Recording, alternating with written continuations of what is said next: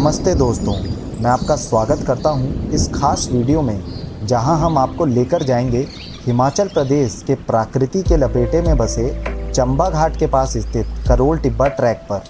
यह ट्रैक एक अद्वितीय अनुभव के लिए बना है, जिसमें आप प्राकृतिक सौंदर्य का आनंद लेने के साथ साथ आधुनिकता के विश्राम और मन की शांति का भी अनुभव करेंगे।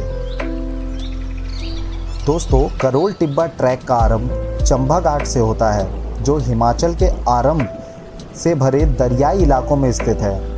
यहाँ से आपको यात्रा करते हुए जंगलों से आगे बढ़ना होगा, जहाँ आपको प्राकृतिक सौंदर्य से भरपूर घाटियाँ, पहाड़ों के चारागाह और दिव्य नदियों का दृश्य मिलेगा। यह ट्रैक आध्यात्मिकता, आस्था से जुड़े मंदिरों की यात्रा के लिए प्रसिद्ध है। सोलान में कालका शिमला हाईवे के समुद्र तल के करीब 7000 फीट की ऊंचाई पर करोल टिब्बा दूर से ही दिखाई देता है। करोल पर खड़े होकर एक तरफ़ हिमालय और दूसरी ओर मैदानी राज्यों के दर्शन होते हैं। यहाँ से शिमला, चायल, कसौली, अपर हिमालय की बर्फ़ से ढकी पहाड़ियाँ और धौलाधर रेंज भी नज़र आती हैं।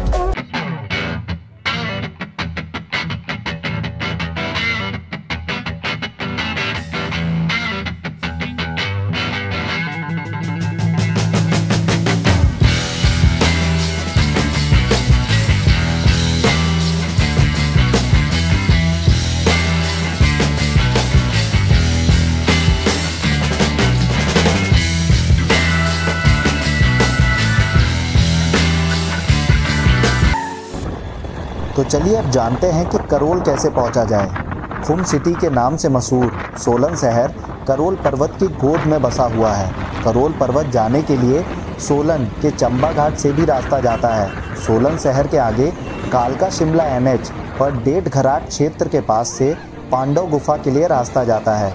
इसमें करीब साढ़े पाँच किलोमीटर की चढ़ाई है। वह देवदार के घने जंगलों के बीच से यह तय करनी पड़ती है। अन्य राज्यों से आने वाले सोलान तक रेलगाड़ी के माध्यम से भी आ सकते हैं।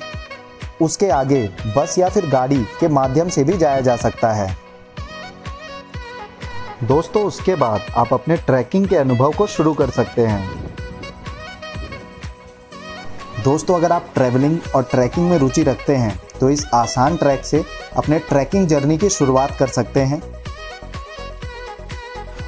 दोस्तों, अब तक मैं कई सारे ट्रैक्स पर गया हूँ। काफ़ी ट्रैकिंग की है। पर बीच में एक वक्त खेलते हुए मुझे काफ़ी गहरी चोट आ गई थी नी में तो उस वजह से मैं ट्रैकिंग नहीं कर पा रहा था। तो इसलिए मुझे एक आसान से ट्रैक को चयन करना था, जिसमें काफ़ी बढ़िया पहाड़ों का जो अनुभव होता है, जो शांति वहाँ जाकर मिलती है, वो भी चाहिए था। साथ में अपने नी की रिकवरी भी चेक करनी थी कि नी कितना रिकवर हुआ है। तो दोस्तों, इसीलिए मैंने इस करोल टिब्बा ट्रैक को चयन किया। और दोस्तों, ये एक शानदार ट्रैक रहा। हमने ये करीबन चढ़ाई जो है, वो तीन चार बजे के आसपास शुरू की थी तो ऑलमोस्ट शाम हो गई थी।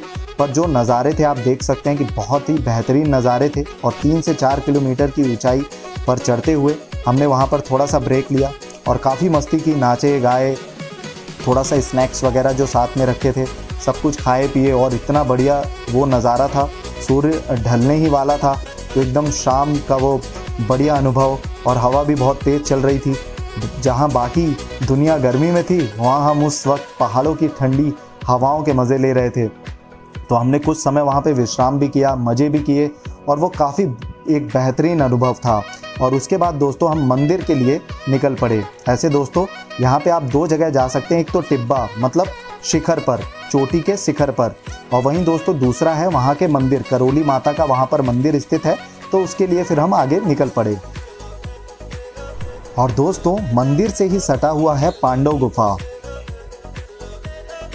दोस्तों, आज तक करोल टिब्बा का रहस्य तो कोई नहीं जान पाया है, पर पांडव काल की यह गुफा विश्व की सबसे पुरानी व हिमालयी क्षेत्रों की सबसे प्राचीनतम व लंबी गुफा है। यह गुफा को रहस्यमयी गुफा के नाम से भी जाना जाता है। इतिहास जनश्रुतियों के अनुसार इस गुफा को पांडवों ने बनवाया था।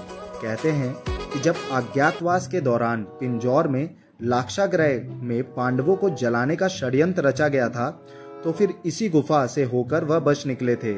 हालाँकि पिंजौर में लाक्षाग्रह के कोई प्रमाण नहीं मिलते हैं। हालाँकि चंडीगढ़ व शिमला हाईवे पर स्थित पिंजौर के पास विराट नगर था, जहाँ पांडवों ने आज्ञातवास व्यतीत किया था, और उसी दौरान एक वर्ष का अज्ञातवास उसी गुफा व करोल के घने जंगलों में बिताया था। इस गुफा को पार करने वाले पांडव अंतिम मानव थे। इसी कारण वह गुफा को पांडव गुफा के नाम से भी जाना जाता है। दोस्तों, इस गुफा के हरियाणा के पिंजौर निकलने के भी प्रमाण हैं। गुफा से बहकर जाने वाले बान के पत्ते पिंजौर के मुहाने पर निकलते हैं। इसका अंदाज़ा स्वतः ही लगाया जा सकता है, क्योंकि बान के पेड़ करौल के आगे कहीं भी नहीं है। करौल गुफा के रहस्य को जानने के लिए पहले से ही खोज का कार्य चलता रहा है, लेकिन इससे पर्दा नहीं उठ सका। बताते हैं कि 1982 में जर्मनी के कुछ खोजकर्ताओं ने जब गुफा के अंदर रंगीन पानी डाला तो यह पिंजौर गार्डन के पानी के प्राकृतिक चश्मों से निकला, जिससे एक बात तो साबित होती है कि ये गुफा पिंजौर में ही निकलती है। जानकारों का मानना है कि इस गुफा के अंदर बड़ी झील भी हो सकती है। दोस्तों, ये गुफा 28 से 35 किलोमीटर तक लंबी बताई जाती है। और दोस्तों, जब हम करोली माता मंदिर पहुँचे, तब शाम हो चली थी और सूर्य ढलने ही वाला था। तो वापस हमें ट्रैक करते हुए थोड़ा नीचे आना था, ताकि हम अपने कैंप को लगा सकें और कुछ देर विश्राम करें, साथ ही खाना वगैरह भी बनाकर खा सकें। क्योंकि तो दोस्तों, हम मेनली कैंपिंग करना चाहते थे। पर आते आते ही रात हो गई और ये पहली बार मेरे लिए ऐसा अनुभव था कि मैंने नाइट में ट्रैकिंग करी। तो दोस्तों, रात की ट्रैकिंग बहुत ही अलग होती है। तो तो अच्छी बात थी कि हम टॉर्च वगैरह सारी जो सामग्री और इक्विपमेंट्स थे, वो साथ में लेकर के चले थे। उसके बाद हम थोड़ा नीचे आने के बाद अपने कैंप को हमने लगाया।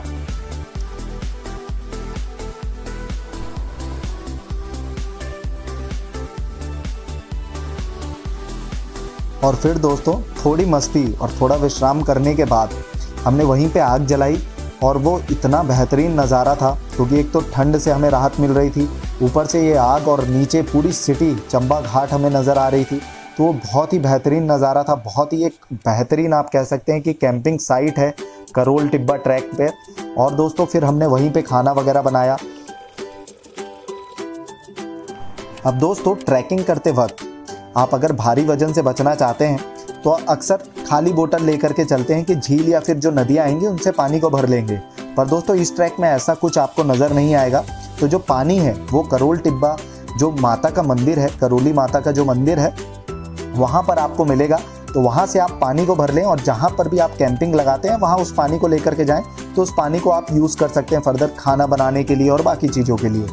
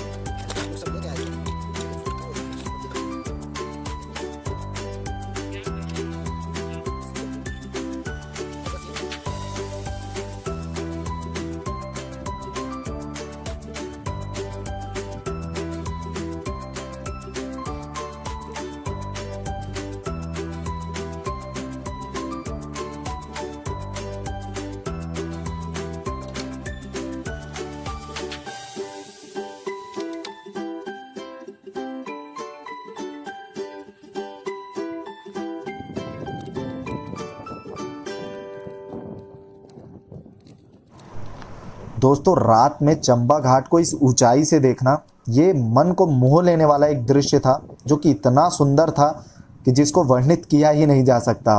और दोस्तों, साथ ही इतनी तेज़ हवा चल रही थी तो हमने आग लगाई थी, वहीं कैंप भी इंगेज किया था, साथ ही खाना वगैरह भी बनाया था। तो अगर आप नेसेसरी इक्विपमेंट्स और एसेसरीज़ लेके चले तो ये कैंपिंग और ट्रैकिंग के लिए बहुत ही बेहतरीन एक लोकेशन है।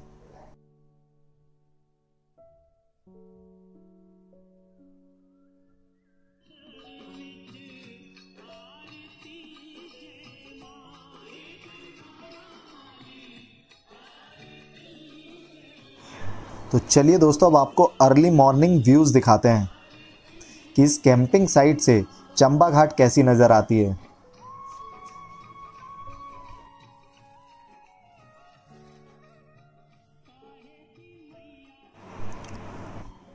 दोस्तों प्रातःकाल का यह अनुभव, इतना सुंदर अनुभव मैंने तो अपने जीवन काल में अब तक नहीं किया था। ये एक बहुत सुंदर नज़ारा था और चंबा घाट भी सुबह सुबह बहुत ही फ्रेश और बहुत सुंदर नज़र आ रही थी। उसके बाद दोस्तों, हम कैंप से थोड़ी देर के लिए बाहर आकर के बैठे और सनराइज़ व्यू के पूरे मज़े लिए।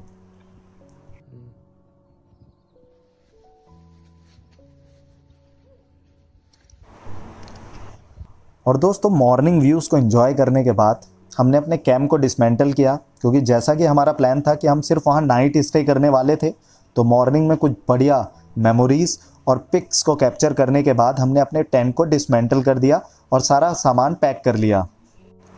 दोस्तों, ये एक बहुत ही आसान और शानदार ट्रैक है, जिस पे आप कैंपिंग भी कर सकते हैं नाइट स्टे भी कर सकते हैं। तो आप इस पर ज़रूर जाएँ और अगर आप इस पे पहले गए हैं या जाना चाहते हैं या फिर इससे, इस ट्रैक से रिलेटेड कोई भी क्वेरी है, कोई डाउट है, कोई सवाल है आपके मन में तो आप ज़रूर कमेंट सेक्शन में पूछें। उस पीक के टॉप तक गए और उसके पीछे था मंदिर। आए हैं रात में ट्रैक करके।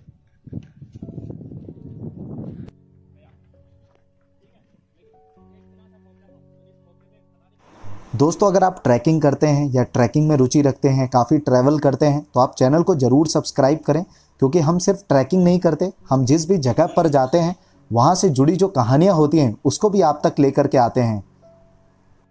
धन्यवाद दोस्तों इस अद्वितीय यात्रा में हमारे साथ जुड़ने के लिए। हमारे आगामी वीडियो में फिर मिलेंगे। सुरक्षित रहें और अपनी प्राकृतिक सादगी का आनंद लें। नमस्ते।